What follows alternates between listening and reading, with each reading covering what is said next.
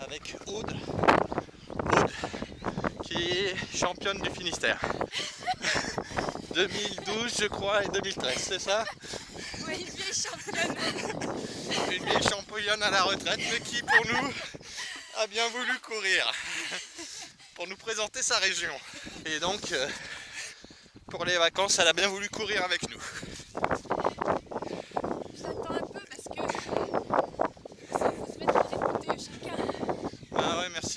Je sais que c'est un peu dur.